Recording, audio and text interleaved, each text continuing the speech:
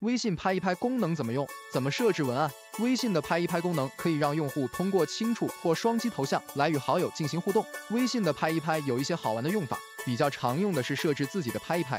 别人拍一拍你的时候，会出现你设置的文字或者 emoji 表情。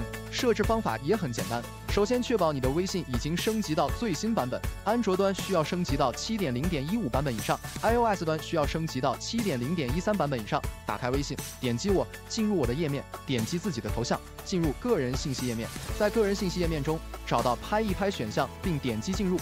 在拍一拍页面中，输入想要设置的文案，最多可以输入十个字符。点击确定按钮，保存设置。要注意的是，被拍对象和其他人只能通过文字提醒得知拍一拍操作，无法接收到震动反馈。